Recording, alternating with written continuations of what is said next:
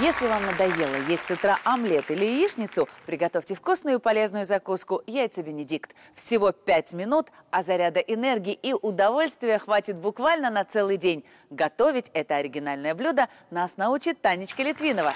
Здравствуй, дорогая. Привет! Что это за необычное блюдо такое? О, ты знаешь, это очень знаменитое блюдо с историей. Готовили его в знаменитом нью-йоркском ресторане Дель Моника. И приготовили для одного тоже знаменитого человека. Это был банкир мистер Бенедикт. И в честь э, этого знаменитого человека назвали эту закуску, этот завтрак. Это знаменитый завтрак, который подают э, в шикарных ресторанах Лондона, Парижа, Нью-Йорка, Барселоны. Его можно встретить в дорогих отелях. Сегодня мы с вами научимся его готовить. И ты говоришь, что такой шикарный завтрак можно приготовить всего за пять минут? Это очень легко и просто, это доступно, в этом нет ничего сложного. Единственное, что нам нужно научиться готовить с тобой соус голландский. С него мы начнем. Давай. Это один из самых древних соусов, которые нам известны. Это соус на яично-сливочной основе. Для этого нам понадобится три желтка. Яйца должны быть комнатной температуры. Мы э, ставим их на водяную баню мы чувствуем, что миска уже горячая, этим, с этим соусом нужно быть очень осторожным, потому что он сворачивается. Поэтому я кладу сюда яйца и буквально сразу начинаю их вымешивать. Ты только желтки положила? Здесь только желтки. Я их размешиваю и буквально сняв с огня, кладу сюда 3 столовые ложки горячей воды. И тоже нужно, чтобы не свернулось. То есть, Совершенно в принципе, верно. постоянно все мешать. Этот го- э, соус готовится очень быстро, буквально считанные минуты. Подают его перед тем, как выносить блюдо в зал, горячим. А это что? Это сливочное масло растопленное. Оно подогрето, температура его приблизительно 60 градусов. То есть мы э, разогрели в микроволновой печи его и дали ему немножечко остыть. Э, я сюда использую белый перец для того, чтобы наш соус не потерял цвет. Белый перец, э, он обладает похожими свойствами, как и черный, только он не меняет цвет соуса. И немножечко соли. Мы дожидаемся, пока яйца начинают загустевать. Этот процесс происходит, э, можно его заметить по цвету. То есть желток начинает темнеть. Мы тоненькой струечкой начинаем вводить сливочное масло. Таким образом наш соус заваривается. Он не будет кипеть у нас, э, он будет вести себя приблизительно как заварной крем. Мы же тоже не дожидаемся того момента, когда он закипит. История этого блюда э, такова. Мистер Бенедикт, э, посетив э, нью-йоркский ресторан э, Дель Моника, пришел туда в энный раз и попросил шеф-повара приготовить ему что-нибудь новенькое. На вопрос шеф-повара он ответил, что когда-то его тетушка готовила ему яйца пашот с голландским соусом. Это была прекрасная идея, э, настолько был восхищен шеф-повар, что он даже вот поэкспериментировав с этим блюдом, он приготовил его э, в тот раз с ветчиной. Мы же э, будем класть слабосоленую семгу. Он его включил в меню ресторана, и это блюдо пользовалось сумасшедшей популярностью. И потом очень многие рестораны великих столиц мира использовали этот завтрак в своих ресторанах. И мы сегодня готовим на завтрак закуску яйца Бенедикт. Вот он загустел до вот такой вот консистенции. Он похож на э, жидкую сгущенку.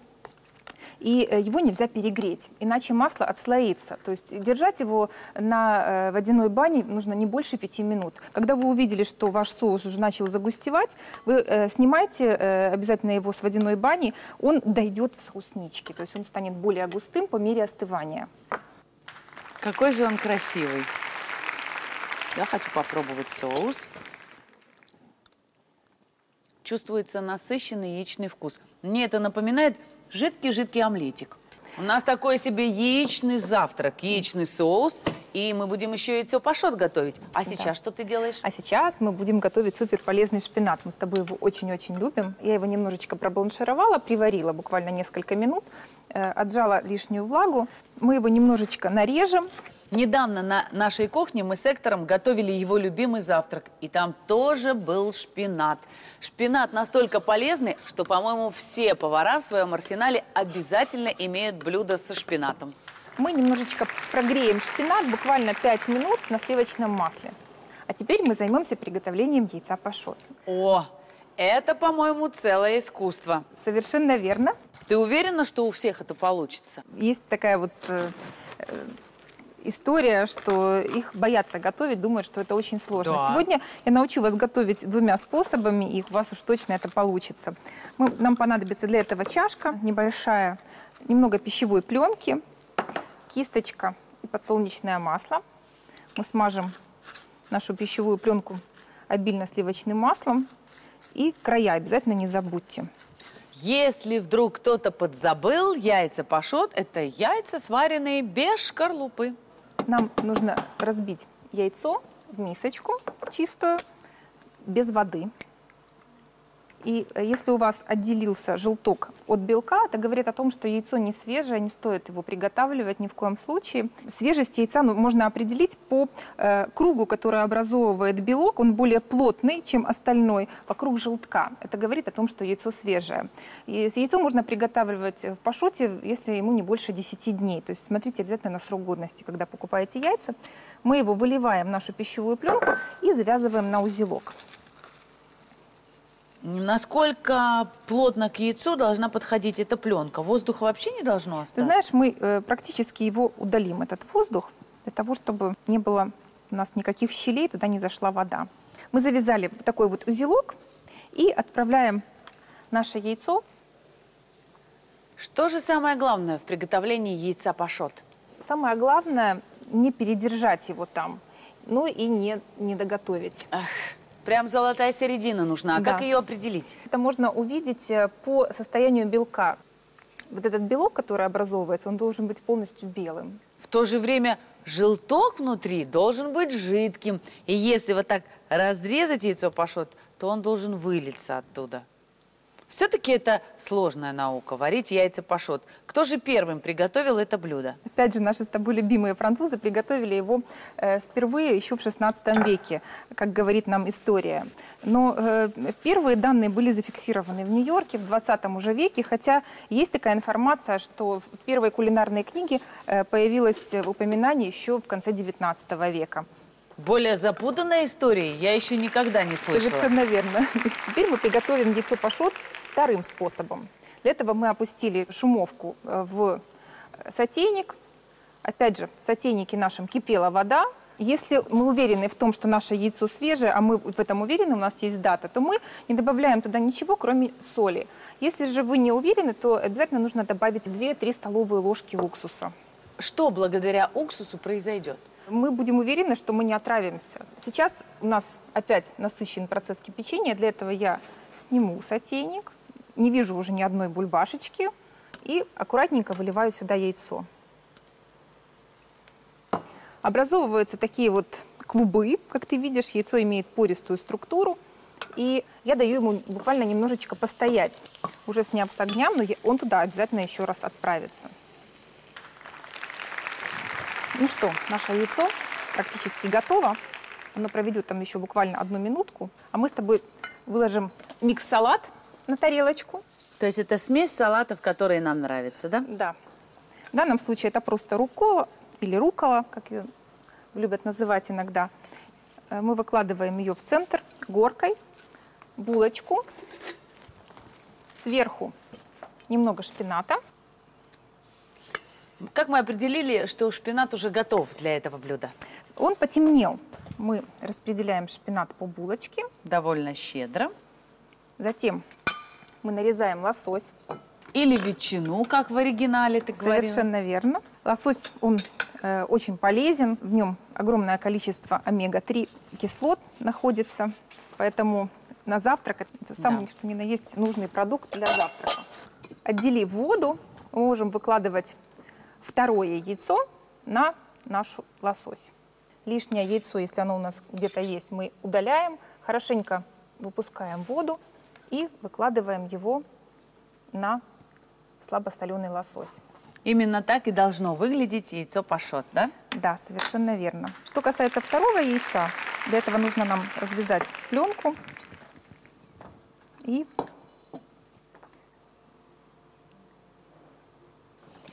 и сверху поливаем нашим идеальным голландским соусом. Красота получается. Здесь такие соцветия, которые действительно дадут заряд бодрости с утра. Зеленый салат, свежая булочка, оранжевая семга, яйцо пашот и желтый голландский соус. А как это вкусно, Наденька! И я предлагаю вместо традиционного чая или кофе приготовить тыквенно-медовый молочный коктейль. Готовить это буквально одну минуту.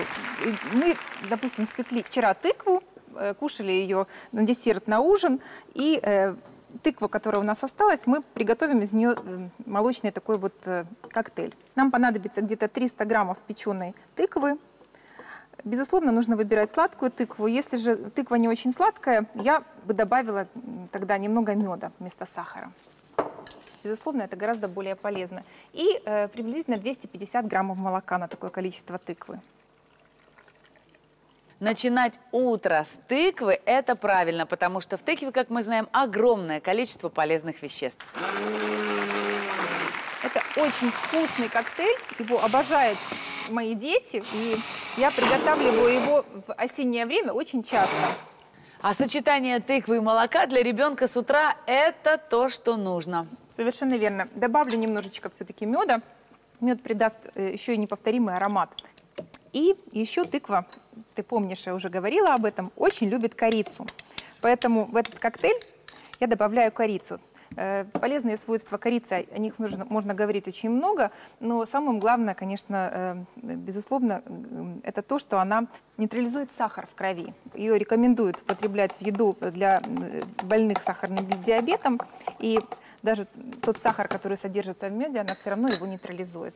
Ну а тыква просто необходима тем, у кого повышенное давление. Ты знаешь, э, он прекрасно тянется даже через трубочку, этот коктейль. Э, Это сочетание э, молока и тыквы, оно просто идеальное. Вот ты попробуешь, ты поймешь, о чем я говорю. Настоящий праздничный завтрак. Ты знаешь, это не только очень вкусно, но это очень полезно, то, что мы с тобой сегодня приготовили. Это настоящий сытный полноценный завтрак для всей семьи. Ну, тут, можно сказать, действительно несколько ингредиентов, которые способны зарядить с утра и на весь день. Когда мы разрезаем яйцо, оттуда вытекает желток, и это добавляет этому блюду особенный такой вот вкус. То есть сочетание э, свежего желтка, вытекающего, плюс этот голландский соус, у этого блюда действительно очень хороший вкус. Очень хочется попробовать.